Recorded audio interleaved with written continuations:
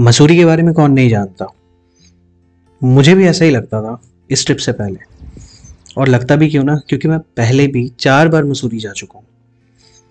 But in चार जगहों पे जाने के बाद मुझे ऐसा लगा कि मैं काफ़ी गलत था। ये देखो हिल रही है हवा से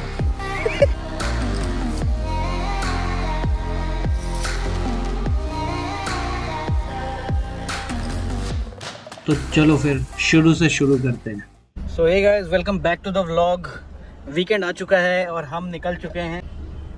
फ़िलहाल अभी सबसे पहले टैंक फुल कराया है और मेरे साथ है रवि और आरुषि। टाइम ऑलरेडी साढ़े आठ से ऊपर हो चुका है। We are we are already late और लेट लेट आए थे। लेट का रीजन है ये है ये ये ये। अश्विनी लेट आया था। मैं सबसे पहले हाँ सबसे पहले आरुषि आई है। तो ये सबसे पहला स्टॉप जैन सिगंजी यार, बुरा हाल हो गया ट्रैफ़िक में ना। डेढ़ घंटे हो गए, निकले हुए। और तब से सिर्फ़ ट्रैफ़िक में ही चल रहे हैं हम।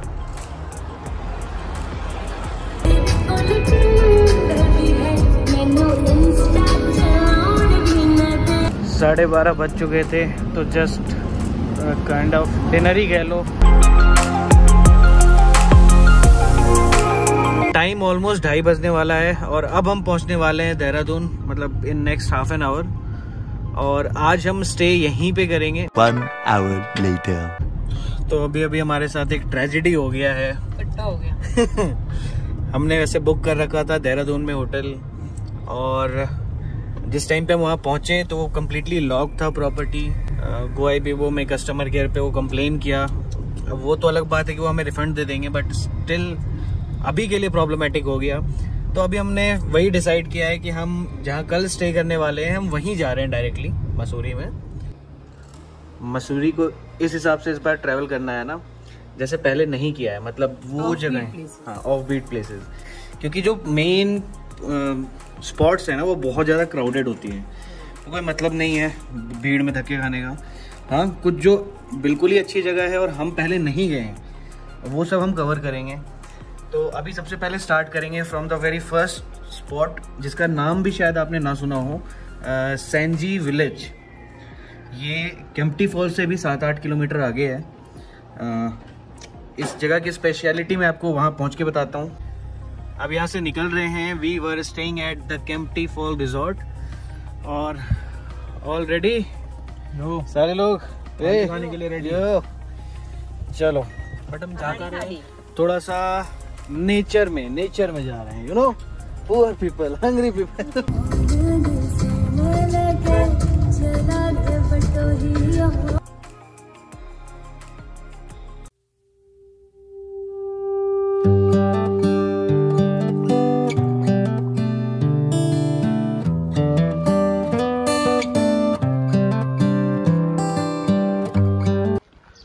तो सबसे पहले हम पहुँचते हैं सैनजी विलेज में।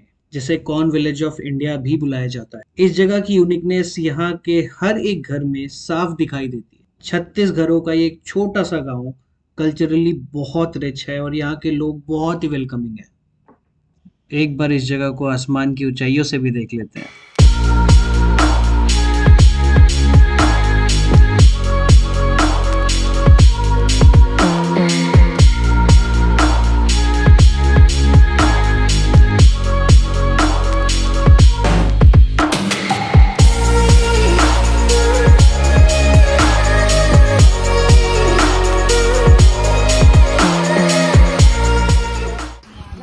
कौन बेकरी है। यहाँ गढ़वाली लोकल फ़ूड मिलता है यानी कि थाली। And food with a view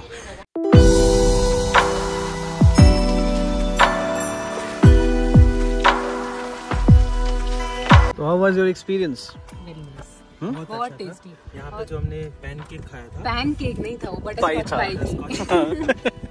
बहुत ही butter scotch pie too must try even Garhwali हाँ, थाली जो था मतलब ऑथेंटिक अगर यहाँ का पहाड़ी चीज़ ट्राई करना है ना तो बहुत बढ़िया था।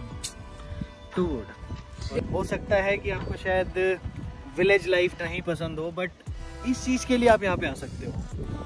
गलती तो final depart from this village काफ़ी अच्छा लगा।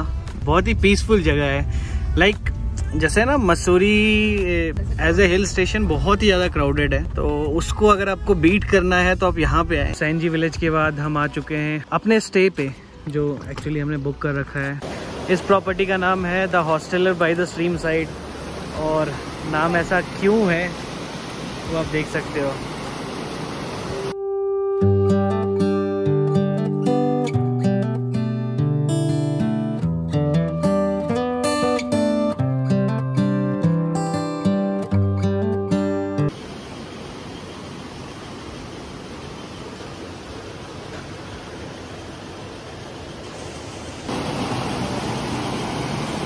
इस भाई साहब से हमने पूछा था तो वो बोल रहे थे कि पानी ठंडा नहीं है। अब नॉर्मल है दिन में। इसका चेहरा देखो। ये जगह है ना भाई। चुन चुन करके मैं लेके आता हूँ। कैसा है भाई जगह? ये आगे शायद शायद थोड़ा ज़्यादा गहरा है। किसी को जाते हुए नहीं देखा है। ये देखो, पानी एक्सेसिव ठंडा है। और वहाँ पे बियर की बोतलें ठंडी हो रही हैं। टू गुड यार मतलब अगर ऐसा कोई लोकेशन है ना तो कैंपटी फॉल वगैरह जाने की ज़रूरत ही नहीं है। टाइम इज़ ऑलरेडी 4:30 और अब टाइम आ चुका है मॉल रोड जाने का नई नई चीज़ें खाने का। इस साइड आ जा। मॉल रोड में पार्किंग देना ऐसा लगता है जैसे कि कोई चलान काट रहा हो। तीन सौ रुपए की पार्किंग है। तो ये सबसे फ़र्स्ट स्टॉप हमने लिया है लवली ऑमलेट पे। कोई ऐसा ऑर्गेनाइजेशन नहीं है जिसने रेट नहीं कर रखा है।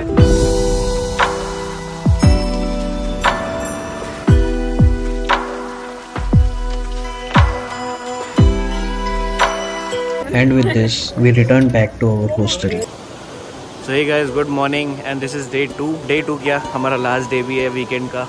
आज सुबह मौसम थोड़ी सी हम पे मेहरबान होती हुई दिख रही है। थोड़ी थोड़ी बारिश हुई थी, अभी रुक गई है। बारिश नहीं चाहिए, मुझे बस ये बादल चाहिए।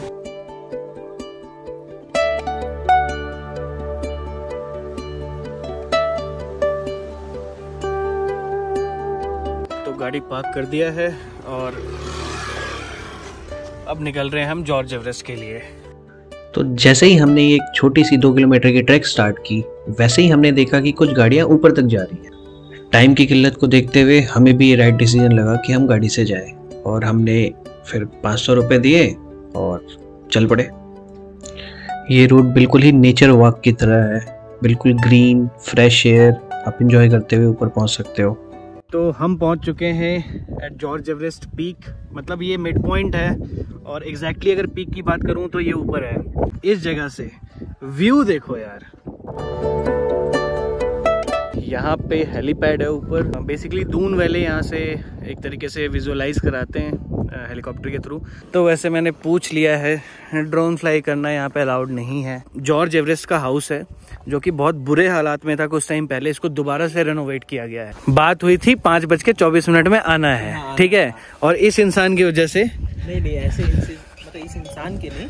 रात में कुछ अनफॉर्सिन सरकमटांसेस के चक्कर में थोड़ा लेट हो गए ज़्यादा नहीं सिर्फ़ चार घंटे लेट मौसम ने इस खूबसूरत से जगह को और भी ज़्यादा खूबसूरत बना दिया। एंड टू बी ट्रू ये हमारे ट्रिप का सबसे बेस्ट पार्ट बन गया। ये है जो हम अभी खाने वाले हैं इस बढ़िया मौसम के साथ।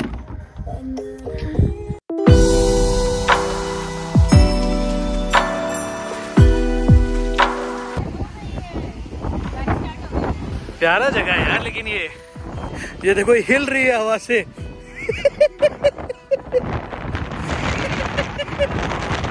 यार क्या मस्त मौसम हो गया है मस्त।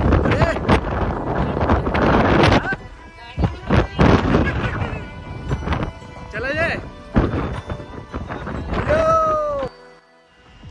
तो हल्की हल्की बारिश और ये बढ़िया मौसम को एंजॉय करते हुए हम निकल पड़े अपने नेक्स्ट डेस्टिनेशन के लिए। जो कि है क्लाउड सेंड क्लाउड सेंड का रास्ता बहुत अच्छा नहीं बना हुआ है बट इतना प्रॉब्लमेटिक भी नहीं है। कहीं कहीं पे थोड़े से नैरो रोड्स मिलेंगे।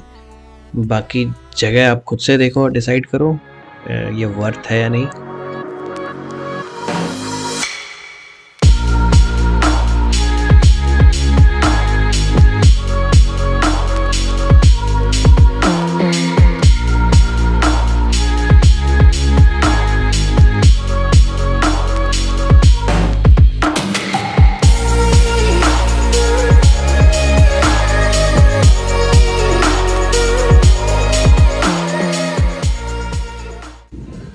ये एक जगह है मतलब एक तरह से जंक्शन है। इसी को हाथी पाव बोलते हैं। और इसके साथ ही तो सी ग्रीन कैफ़े। बड़ा बड़ा बोर्ड लगा रखा है कि awarded best pizza in Mussoorie और इस लड़की को पिज़्ज़ा बहुत ज़्यादा पसंद है। तो चलो ट्राई किया जाए।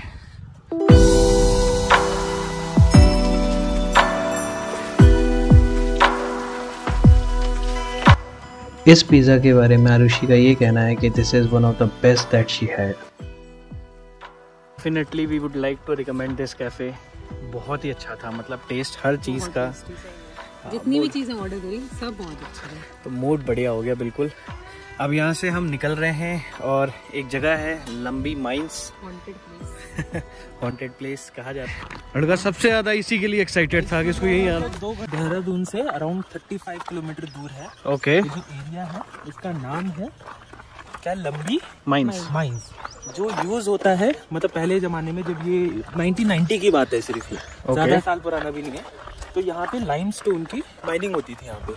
तो यहाँ पे अराउंड वर्कर्स का अगर मैं कहूँ तो कम से कम नाना करके जो वर्कर्स होते हैं वो यहाँ पे फिफ्टी थाउज़ेंड वर्कर्स थे अच्छा। जो यहाँ पे माइनिंग करते थे। ओके तो हुआ क्या था जब ये वर्कर लाइमस्टोन की माइनिंग करते थे तो उनके साथ क्योंकि प्रोटेक्शन वो नहीं पहनते थे माइनिंग्स के टाइम में क्योंकि उनको ना मतलब लाइमस्टोन होता है एक्चुअली क्या है मैं ये बता देता हूँ।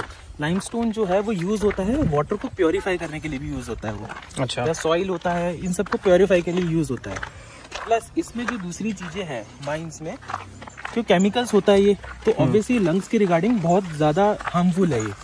ठीक है? तो ये यूज़ करते टाइम जब माइनिंग हो रही थी तो किसी भी वर्कर ने कोई भी प्रोटेक्शन नहीं लिया था। ओके तो जैसे वो माइनिंग कर रहे थे रोज डेली डेली डेली ये माइनिंग करते थे तो हुआ क्या? इन सबको एक ही साथ लंग कैंसर हो गया। अच्छा। लंग डिसऑर्डर कह सकते हैं जिसको। हम्म हम्म। तो वो हुआ इसके चक्कर में बहुत सारे वर्कर्स ने खून की जैसे उल्टी होती है वो सब इन्होंने किया और विद इन अ मंथ के अंदर सारे के सारे वर्कर्स जो फिफ्टी थाउज़ेंड वर्कर्स थे सारे के सारे मर गए। ये तो मतलब वो भी अनऑफिशियल डेटा है. एग्जैक्टली तो पता नहीं है. प्लस इसी के साथ क्या हुआ? जैसे ही मरे हैं उसके बाद यहाँ पे ना पैरानॉर्मल एक्टिविटीज़ जो है माइनिंग बंद कर दिया गया उसके हाँ, तुरंत बाद. तुरंत बाद माइनिंग बंद हुआ और उसके बाद यहाँ पे ना आसपास बोला जाता है एक्सीडेंट इस एरिया में बहुत ज़्यादा होते हैं। अच्छा. यहाँ पे नियरेस्ट एक तो यहाँ पे हेलीकॉप्टर भी क्रैश हुआ था। अच्छा. यहीं पे इसके जस्ट पास में। क्योंकि मैंने रिसर्च कर रहा था तब मैंने पढ़ा था इसके बारे में हेलीकॉप्टर भी यहाँ पे क्रैश हुए हैं। प्लस ट्रक और कार का एक्सीडेंट इस एरिया में बहुत ज़्यादा होता है। अच्छा। तो इस एरिया को इसलिए ना उत्तराखंड का हॉन्टेड प्लेस में इसको जगह दिया गया okay good deep study deep study you had आज के टाइम पे ये जगह एक टूरिस्ट स्पॉट बन चुका है और ये सब कुछ बस एक कहानियों की तरह दफन हो चुका है। और इसी के साथ हमारा ये दो दिन का वीकेंड ट्रिप ख़त्म होता है। वीडियो को यहाँ तक देखा है तो कमेंट करके ज़रूर बताना कि आपको कैसा लगा। मिलते हैं नेक्स्ट वीक सेम टाइम एक नई कहानी के साथ। Till then take care and bye